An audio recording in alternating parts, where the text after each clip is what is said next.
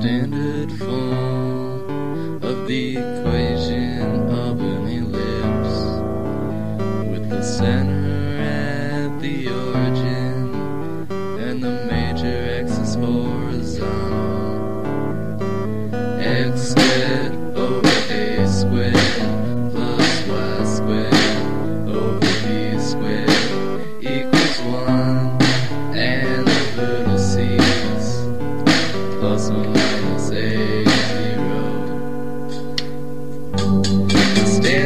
Thank you.